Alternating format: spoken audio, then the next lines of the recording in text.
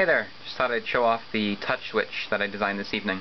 Basically, um, it's a piece of metal that you can touch, which creates a pulse that can be read by an Atmel to do something.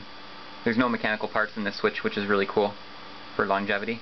How it works is an op-amp with open loop gain connected to some metal object. In this case, I have just a ruler. And on the output of the op-amp is a capacitor with a resistor to ground and a diode to prevent oscillation and it works pretty well. The only problem is if you get yourself charged up by rubbing your feet on the carpet, it'll uh, it won't trigger for some reason. So the solution to that is to put a ground terminal directly next to the metal terminal. In this case, I guess I'm not charged because it seems to be working, but if I rub my feet on the floor, it won't register my touches. If I ground myself, it works.